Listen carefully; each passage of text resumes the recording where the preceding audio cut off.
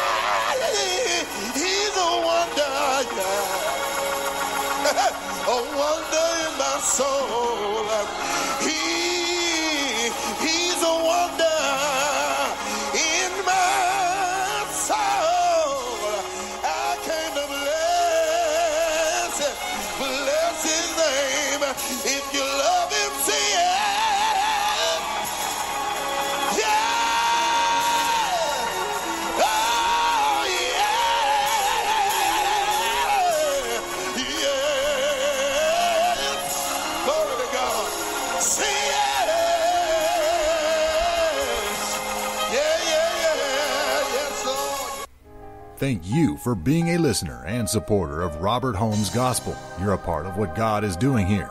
We need your financial gifts to keep encouraging others. God is always there. To give either a weekly, monthly, or one time gift, you can easily donate from our app or text the station at 832 930 4684. Remember, no matter what, God is always there.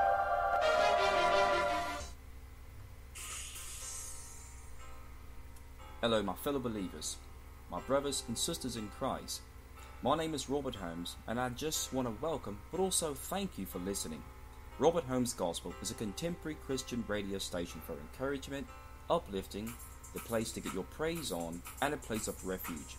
We want to be the station you tune into daily, 24 7, when you want to hear a word from God. Stay tuned for words of encouragement from one of our special guest speakers. This speaker loves the Lord. You don't want to miss it. chosen by right of birth. But then there are others that are chosen out of the situations into which they are thrust. Uh, The Lord said concerning the southern kingdom of Judah, when they were in the midst of their suffering, uh, God saw that they were able to endure hardness. And some of you have been put into some situations where folk expected you to throw up your hands and surrender. But when God saw how you were able to endure hardness as a good soldier of Jesus Christ, when He saw you were able to take pressure and not fall under the pressure, He said to you, like He said to Judah in Isaiah 48 and 10, Behold, I have refined thee but not with silver. I've chosen you in the furnace of affliction. Is there anybody today that feel like you're in the furnace? Feel like the heat has been turned up?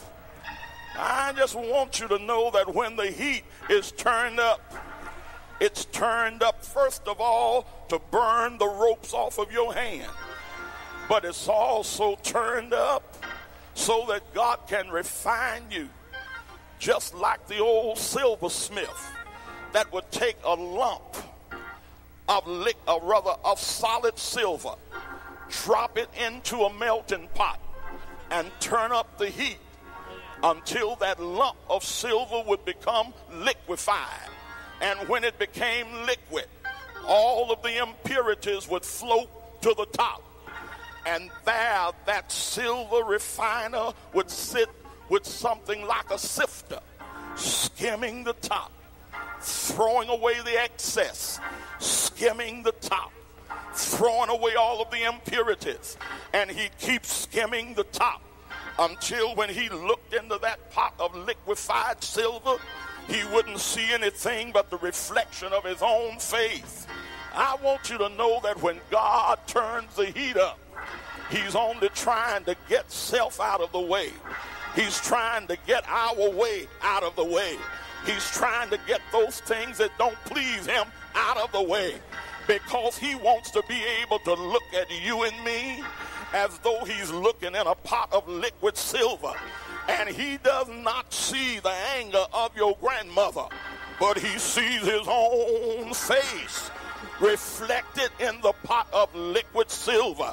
So you ought to say, Lord, I don't mind you turning up the heat.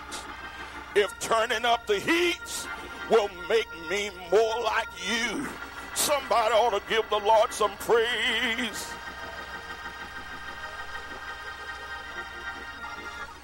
As I close, for what purpose were we chosen? In Ephesians 1 and 4, it says, according as he hath chosen us in him before the foundation of the world, that we should be holy and without blame before him in love. When God established a pattern for us as the church of God in Christ, he formed us to be a holy church. I think television has worked against us because we watch and see what everybody else is doing rather than concentrating on why God chose us. He says in 1 Peter 2 and 9, You are a chosen generation, you are a royal priesthood, you are a holy nation, you are a peculiar people. I made you like that, that you might show forth the praises of him that called you out of darkness and into the marvelous light. I remember as a little boy when folk didn't understand us, we were strange, and everybody tried to stay away. If they came on Sunday night, they sat in the back because they scared we were going to sprinkle some stuff on them that would start them to acting like us. But God, in all of our peculiarity, made us a church like no other church in the world. And you got to understand, you are not chosen to be like anybody else. We don't speak in tongues like nobody else. We got to go back to singing our songs that are different to everybody else. We've got to understand that other folk might get the Holy Ghost and act in that little quiet, dignified manner, but He made us picking them up and putting them down. He made us. And, and, and let me just say this I don't understand it. When I hear these fellows on television making fun of this church, uh, trying to act like they are mimicking our preachers and mimicking the way our people praise the Lord. You got to remember this church is a hundred years old. Christianity itself is only 2,000 years old. So for 5% of the entire time that the church has been in the earth, the church of God in Christ has been established. And we were speaking in tongues and doing what we're doing now. Back when they would throw folk out of the church for just lifting their hand and saying hallelujah. Whenever I turn and hear them criticizing, I just flip to the next channel because they don't even know what they're talking about. How can the kindergarten students teach those who are in the university how holiness ought to operate? God chose us. Can you tell somebody, I'm glad I'm chosen? I'm glad I'm chosen. Eh, glory. Hallelujah. Yes, Lord. Sit down for a minute. I, I, I got to close this thing, but I'm glad that I know I was chosen. Yeah, I didn't know it when God was getting me ready.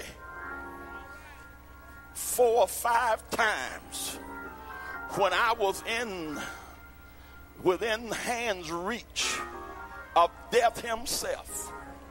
But God kept me alive for this very day. When I was just a little boy, sit down, y'all. Y'all testify. Y'all mind if I testify?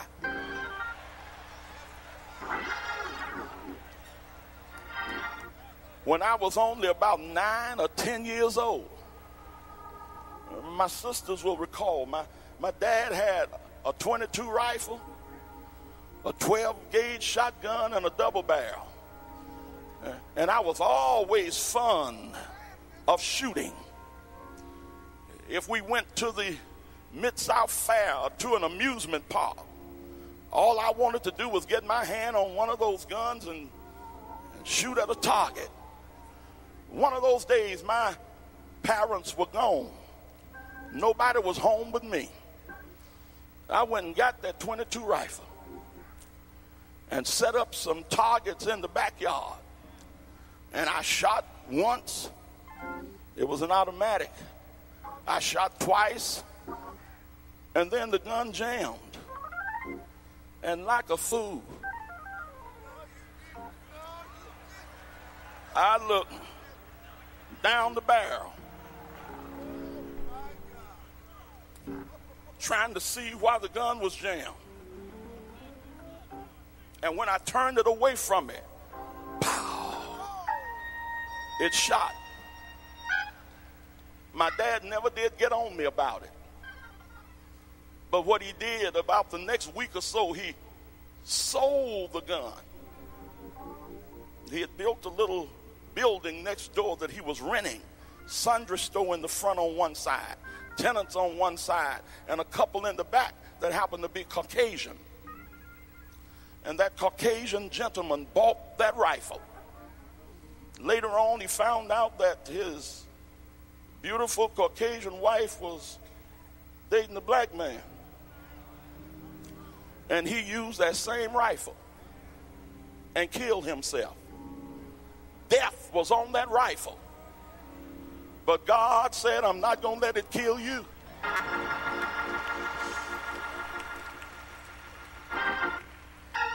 About two years later, my dad and I had been fishing all the time, but uh, we were teaching Bishop J.O. Jr.'s father, Bishop J.O. Sr., how to fish. and we went down the Sardis Reservoir, got down there in rough water, went back into a cove out of the wind, and looked like the thing wasn't going to let up. So my Uncle J.O. and I decided we would go through the woods and see if we could find somewhere to bring the car a little closer. All while we're walking through the woods, you could hear stuff in the underbrush, but never saw anything. Every time I thought it was a snake, Uncle was, oh boy, it ain't nothing but a lizard. He was scared too, but he was, knew he couldn't let me be scared. When we finally got to the boat dock, one of the men from the boat dock was walking with us down a gravel road. Now understand, I never saw a, a snake in the woods. But we got into a gravel road. And I'm walking, paying no attention. And the man that was walking with us, he said, uh, Stop just a minute. And I stopped and I looked at him. He walked behind me, got a big old stone, walked in front of me, and dropped it on a water moccasin that was curled up. All I needed to do was take another step or two and would have been meat for a water moccasin. But God said, not yet.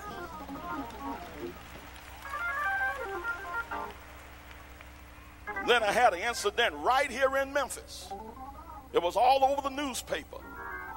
Leaving the 12 o'clock prayer meeting, June 27, 1975. Everybody else had gone, and I'd gone to the office for a few minutes. And as I got ready to get into my car, I looked across the street and recognized the face of this young man. And he was grinning.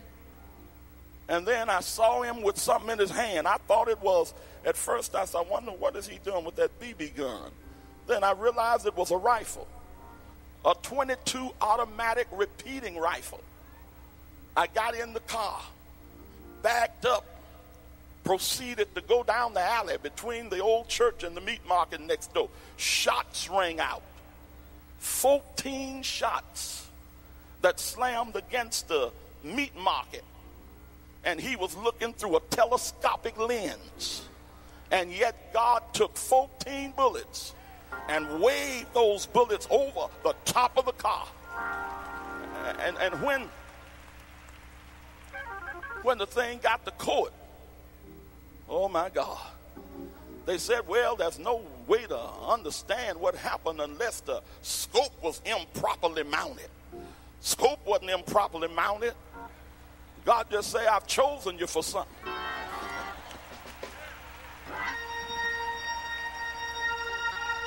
And the shocking thing, when we found out what he was angry about, on the Easter Sunday morning, I had preached about the sacredness of life and that God don't intend for nobody, hallelujah, no woman to stay in a situation where five times a week you're getting beat up and in danger of your skull getting busted. He thought that I knew that he had taken the pit, the grill off a barbecue pit, and had beat his wife with it. And he was angry because he said I was interfering in his marriage. Simply to say that a man shouldn't do that. And a lot of folk in this city, they read that line about the interference in the marriage. And they didn't want to believe that the man was demented until later he killed his own mama, cut her body up, put it in a garbage can, rolled it down the street, and dumped it eight years later, and they say, you know, Patterson was right about that man. But the thing about it, some of you are in situations where people don't understand what you're going through. But I want to tell you that if you are chosen, when the time comes, God will vindicate your cause. I got to give you this last testimony and then I'm going to my seat. 1996. We were on our way coming back from New Jersey. That was the time I preached for you in your convocation, Bishop Owens. And we got down into Tennessee, about 100 miles east of Nashville. And one of the pastors in Tennessee Fourth, many of y'all know him, Pastor Bill Wright. He was driving the car. Normally, I'd be sitting in the back. But this day I sat in the front and we started laughing about something. And I didn't know when he, from the passing lane, started to move across to the right lane. And then he was moving so fast, and in the back, Brother Spite said, Bill. And I looked and saw that he had blacked out, driving 75 miles per hour frozen to the stern wheel. And I'm sitting there opposite him. And as soon as I saw what was happening, I never feared. The Holy Ghost just said, Take your left hand and grab the wheel. I grabbed the wheel and started steering. And he said, Take the right hand and move this car out of drive into neutral.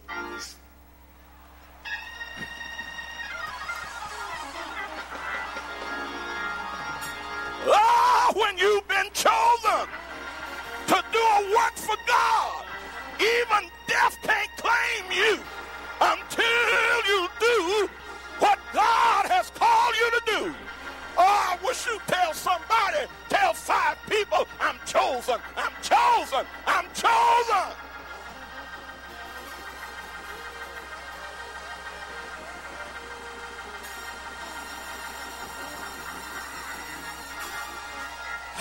Hallelujah.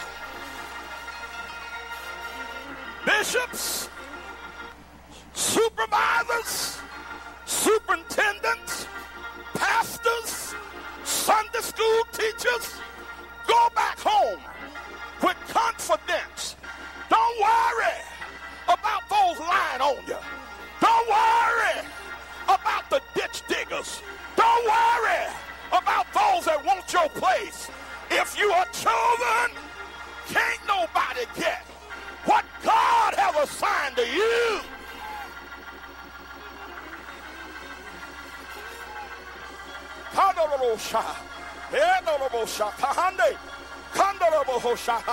Come on and give God some praise in the house. Come on and give him praise. Hey, hallelujah.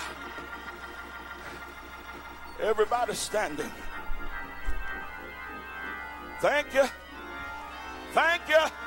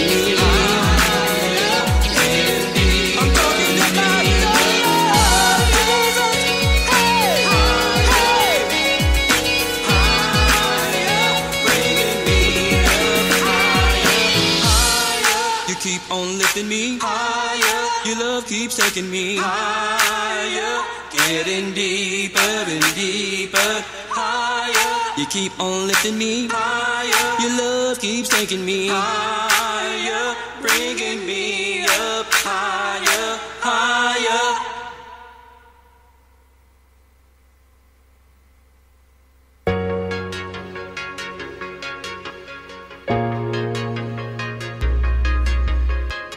Problems on the right, problems on the left. Oh my God said you'll be right there. Seems like your prayers ain't going nowhere. You've been searching for answers everywhere. Dealing with some situations in your body. Better know my God will make a way. Pinks the collection cause you might have had them all. Cast your cares on him, but don't fall praise your way through. God will see you through. It's only a matter of time. Coming strong. Put him where he belongs. I got the faith, the strength, and to carry on. Praise your way through. God will see you through. It's only a matter of time. Devil's coming strong. Put him where he belongs. I got the faith, the strength to carry on. When the enemy comes in like a flood. The Spirit of the Lord will lift you up.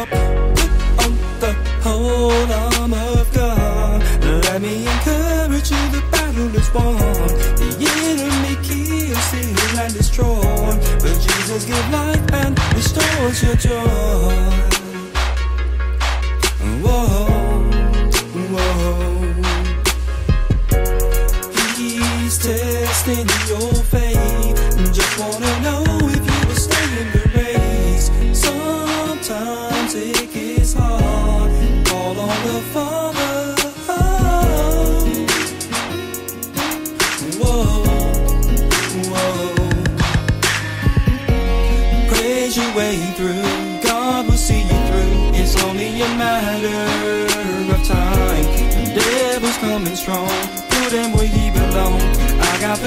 the strength to carry on. Praise your way through.